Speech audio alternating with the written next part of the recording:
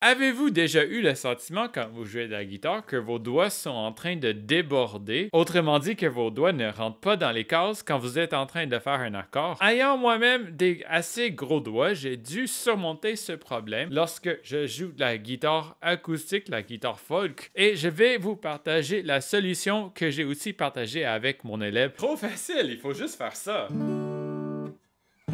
Ça marche pas. Alors, je vais vous partager dans cette vidéo trois façons de régler le problème des doigts qui débordent.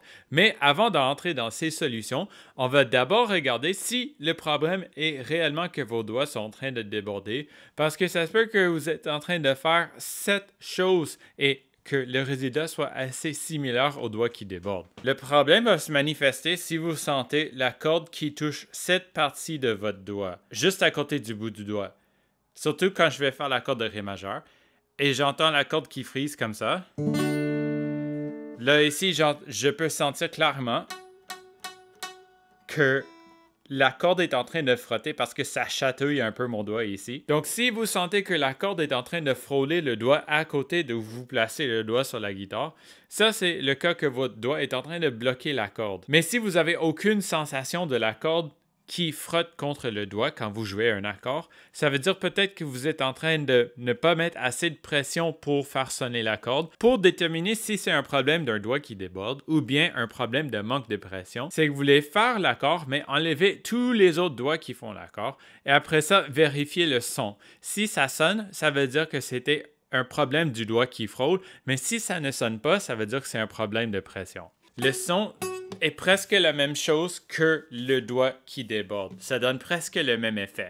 Donc, ce que je veux faire, c'est enlever tous les doigts. Si j'enlève les autres doigts de l'accord et que la corde sonne toujours pas, ça veut dire que je suis pas en train de mettre assez de pression. Donc, je mets plus de pression.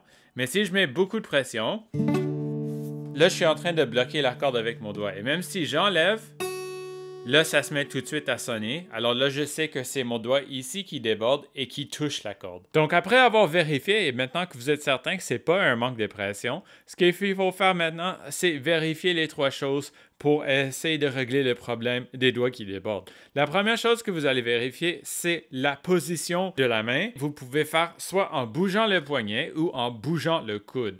Et d'ailleurs, j'en parle aussi dans une autre vidéo qui est intitulée 7 chose est plus importante que les doigts. Si vous avez vérifié la rotation, non seulement horizontale, mais aussi de position verticale, et ça ne marche toujours pas, maintenant il faut s'attaquer à l'ordre dans lequel on place les doigts. On va vraiment faire un seul doigt à la fois.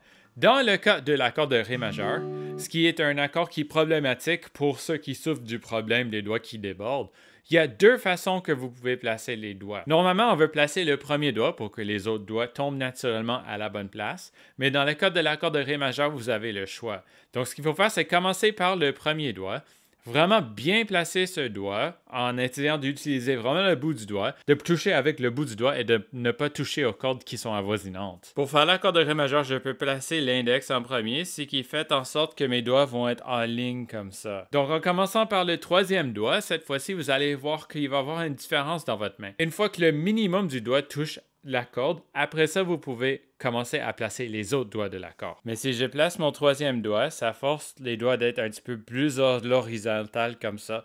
Et pour vous, ça peut vous aider à bien placer les doigts de la corde. Donc, si vous prenez le temps de bien placer les doigts, en faisant attention de mettre le minimum du doigt, de la surface du doigt sur la corde de la guitare. Donc, je fais vraiment attention d'arrondir et de bien placer le troisième doigt pour mettre le minimum d'espace sur la corde. Comme ça, je sais que j'ai beaucoup d'espace, ou le plus possible dans le fond d'espace, entre les deux cordes ici, entre la première et la troisième corde.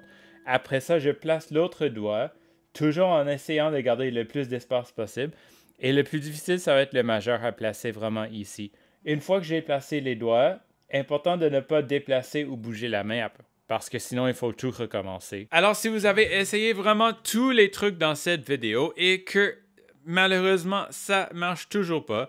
La seule chose à faire peut-être, c'est de changer de guitare et de prendre une guitare qui a un manche qui est un petit peu plus large, comme la guitare classique. Si vous voulez vous procurer d'une meilleure guitare pour essayer de régler ce problème, vous avez peut-être une guitare de mauvaise qualité. Je vous suggère de regarder cette vidéo intitulée Les 5 choses à vérifier avant l'achat d'une nouvelle guitare Et on va se voir dans cette vidéo. Bonne continuation à la guitare.